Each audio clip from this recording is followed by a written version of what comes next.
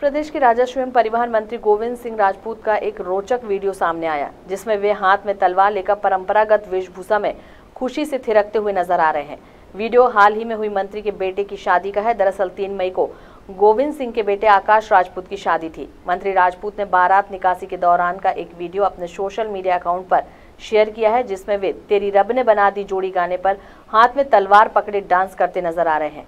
हालाँकि तलवार म्यान में रखी हुई थी, वीडियो में उनके साथ अन्य बाराती भी झूमते दिखाई दे रहे हैं।